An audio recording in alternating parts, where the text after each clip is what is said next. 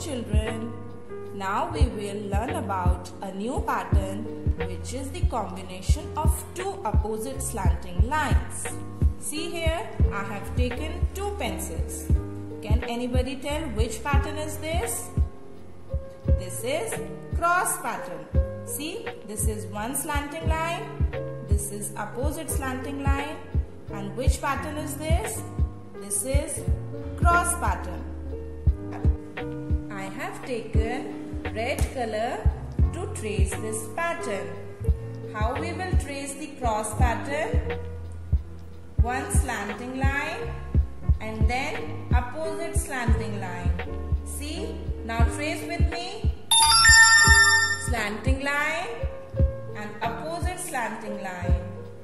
Let's paint with finger. One slanting line and opposite slanting line. See? Now one more. One slanting line. Second, opposite slanting line. See, this is cross pattern. Now we will trace one more cross. One slanting line. Second, opposite slanting line. This is cross. One more. One slanting line.